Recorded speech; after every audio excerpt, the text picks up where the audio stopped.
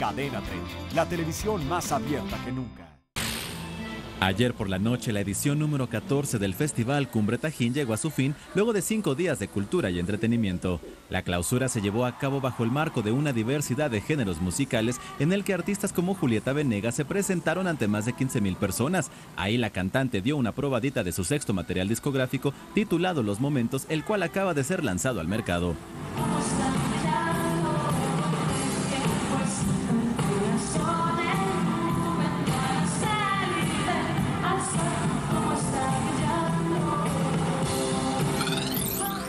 Otro de los talentos musicales de la noche fue el rey del acordeón Celso Piña, quien hizo vibrar el parque temático a ritmo de cumbia.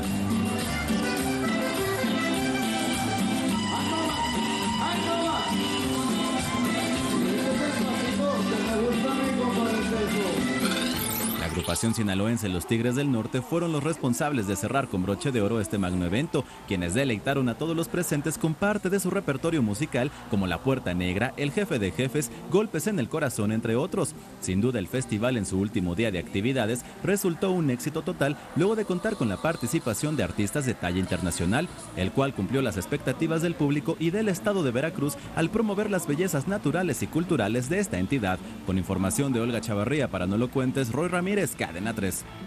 Fue Gustavo Adolfo Infante, suscríbete a nuestro canal de YouTube y entérate antes que nadie de lo que hacen tus artistas favoritos. Empieza ahora mismo dándole clic a estos videos.